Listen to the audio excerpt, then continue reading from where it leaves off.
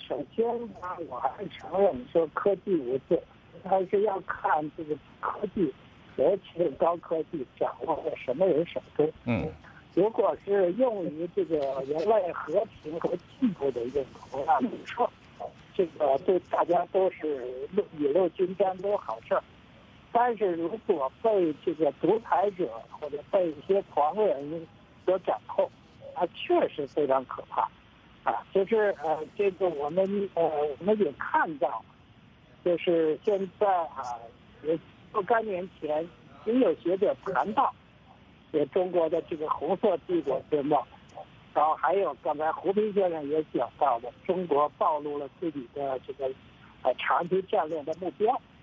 啊，这点呢，恐怕这个，中国呃在最近这几年来一再兜售。中国方案，什么中国智慧这一套东西啊，这个确实，这个让人感觉咄咄逼人。还有他的“一带一路”的这个经济战略，啊，也让人感到不安。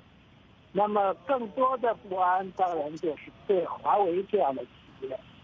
因为现在我可能美国在内的西方国家已经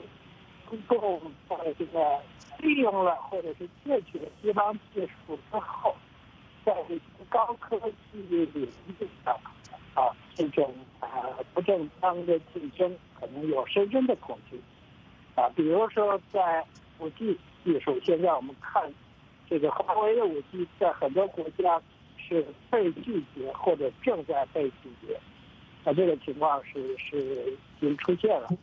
还有，当然，我们看到不久前关于这个，呃，中国的一位生物科学家，啊，这个所谓制造人的这种技术啊，这个利用基因编辑技术。当然还不仅于此，比如中国的这个美的，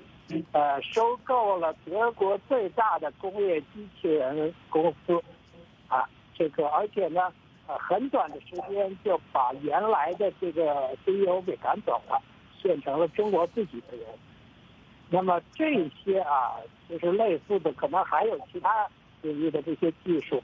但是呢，我觉得这些都是令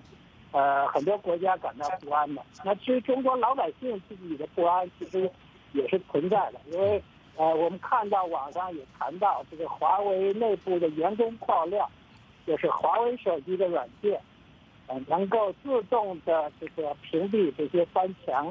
啊的功能，而且呢，能够这个呃进行对这个通话者进行监听和这个监控。嗯。啊，当然还有包括华为的技术可能被用在人脸识别系统啊，或者其他的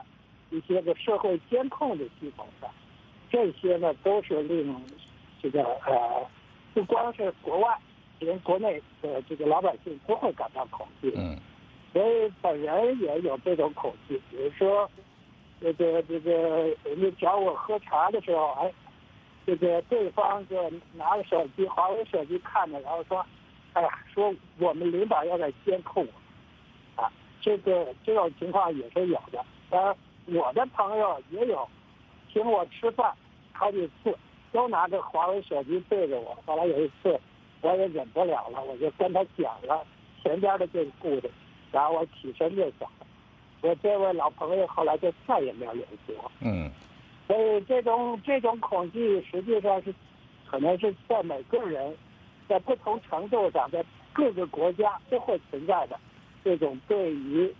啊一个呃这么一个强势的政权对于要控制一切的这种欲望，确实令人恐。